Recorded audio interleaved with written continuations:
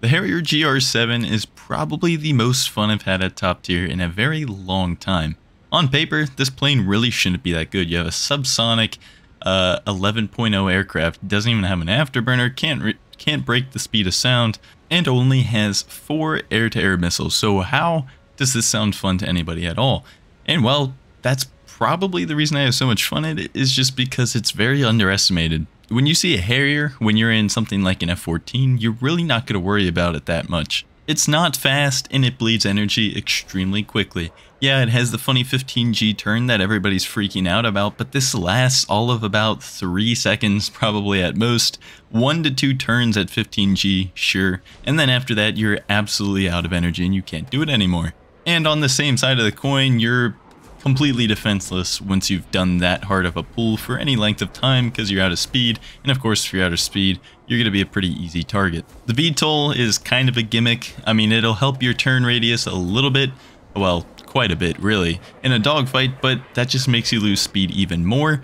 The thing is though, you're going to get people to overshoot if you're using your VTOL. If you're turning well, all that kind of thing, being slow is sometimes the best thing about the Harrier. And because, like I said, pretty much everything is going to end up overshooting you as long as you can avoid the incoming fire. And with four AIM-9Ls, now we're getting to the good part of the plane, the four AIM-9Ls really do not care about flares on a lot of planes when launched from rear aspect, and of course if they're overshooting you, you're probably going to be launching on them from rear aspect. The F-14 sure as shit is not going to be flaring the AIM-9L, even if it cuts the afterburner, even if it pops as many flares as it possibly can, even if, if it throttles down to say 0%. The other great thing about this plane though is the guns. You see a pretty wild shot on screen right there. The reversal looked pretty nice and all. My shots ended up connecting. I shot him when he was like, what, 0.7 kilometers away, something like that. That is a pretty far shot. And unless you have like a Vulcan, you're not going to be hitting that really at all. And even with the Vulcan, it is a pretty once in a while reversal to be able to do that. However, as much as I'd like to be able to take credit for being able to hit that in the Harrier, it ultimately comes down to the guns. On the screen to the left here, I'm going to throw up the stats for the Vulcan 20mm high explosive rounds with a velocity of 1030 meters a second. This is pretty much one of the highest velocity guns in the game. Uh, and it is extremely easy to aim. This is pretty well known. Now, let's pop up the stats for the Harrier GR7's 25mm ADEN ammunition. We have Armored Piercing High Explosive and HVAP.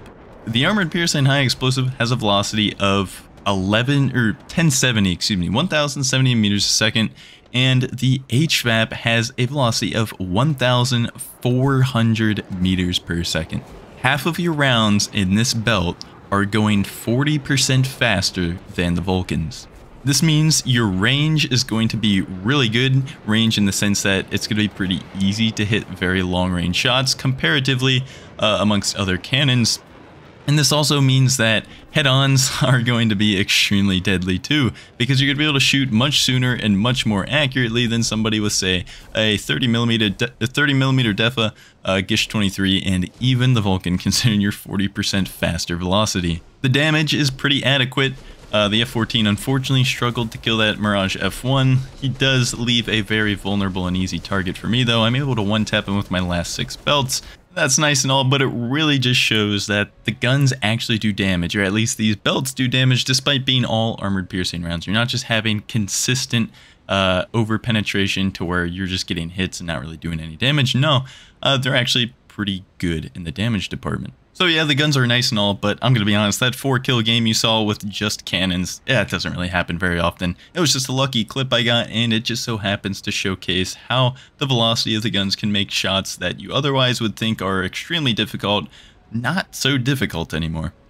But looking at how we're usually going to be getting kills in the Harrier GR7, and it's just the AIM-9L. The AIM-9L has received a buff, as I said in the last video, I think, uh, the 30G is actually 30G now. It really does feel like it pulls pretty hard, and this is much needed. It tracks well, it doesn't constantly overlead like it used to, and really they're one of the most deadly missiles in the game now. And like I alluded to in the beginning of the video, it does not really care too much about flares. There's a lot of planes that if you get a launch with the AIM-9L and rear, rear aspect, they're just dying. There's nothing they're going to be able to do about that. Uh, mainly so the F-14, but you know, if people aren't cutting afterburner, there's absolutely no chance they're going to be flaring it.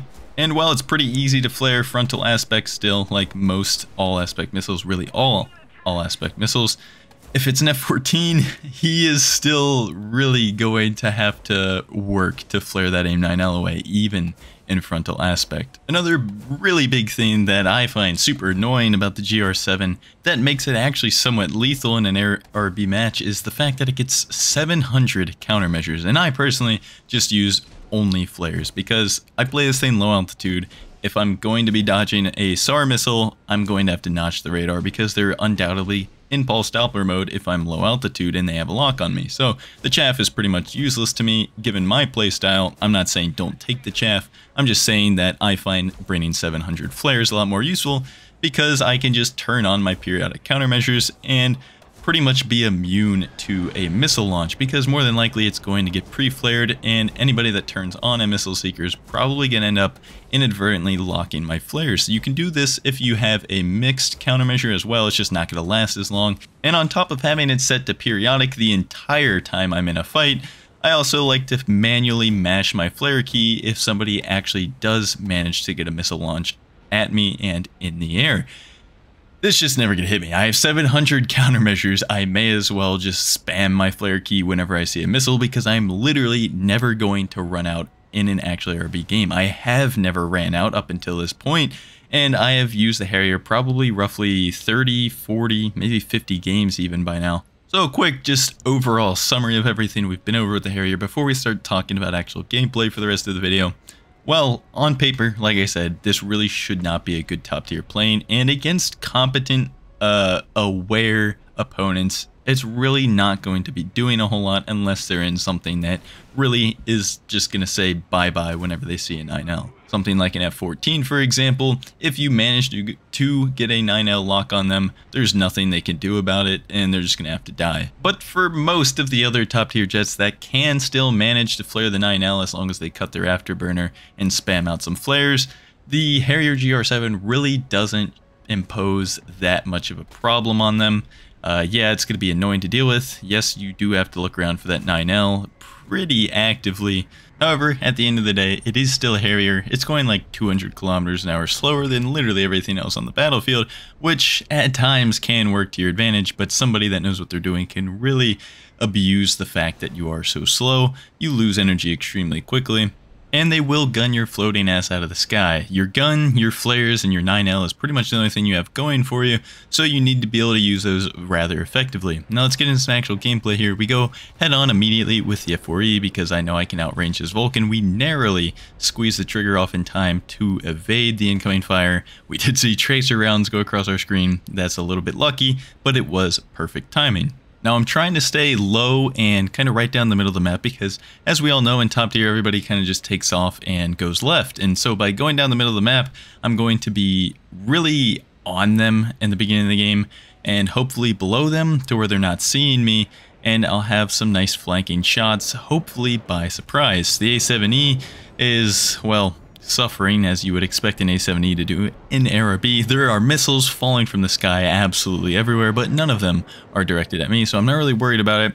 And I have the 6 o'clock of several planes in front of me. The F-14, who I know the 9L is going to hit because it's an F-14. We look at the SAU, notice he's popping flares, so we wait on him, shoot another F-14, and now that the SAU's probably not paying as much attention, and he's not, we end up connecting with him too.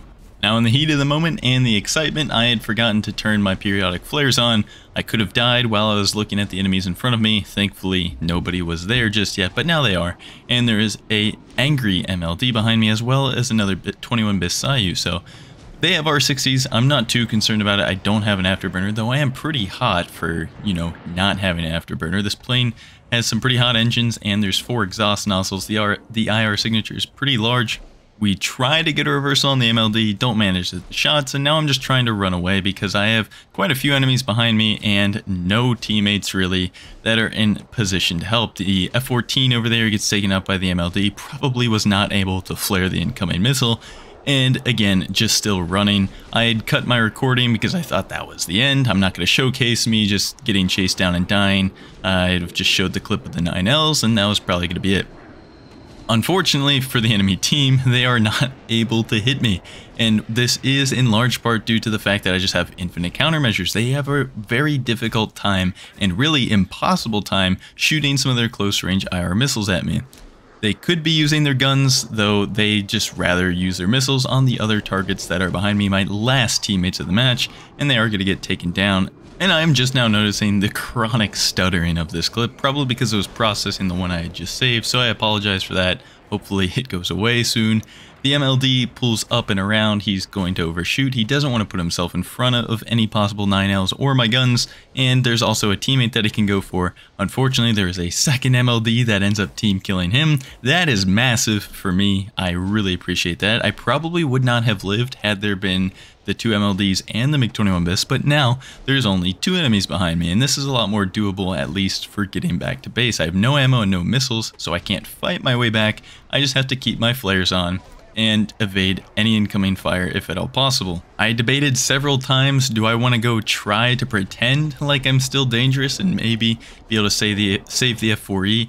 Maybe he'll get a slight window of breathing room and be able to get himself out of there. But before I had finally decided I was going to try that, they end up taking him down, and now I'm 1 versus 3 in F4E, in MLD, and the Bis SAU. Bis SAU is air braking and bleeding speed to stay on my 6. This is a great idea for him. He should by all means have me dead here. He unfortunately gets taken out by a Roland right as he loses his wing. The plane I'm in does pull 15 Gs, but not when I'm going 600 kilometers an hour IS.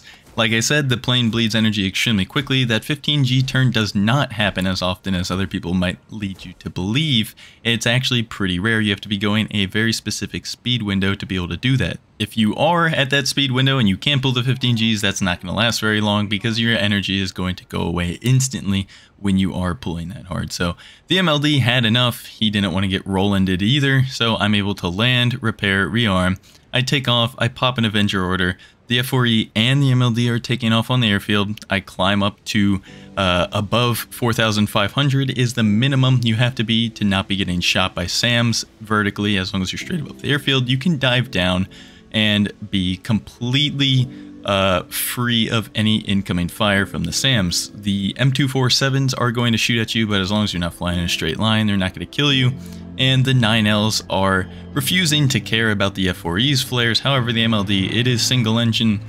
However, when I shoot that close, he's not going to be flaring that away. That's the Harrier GR7 for you guys, probably my favorite plane of the patch. It is good fun, even though it's not really the best on paper technically, but I think you will enjoy it. Hope you guys enjoyed, and I'll see you later.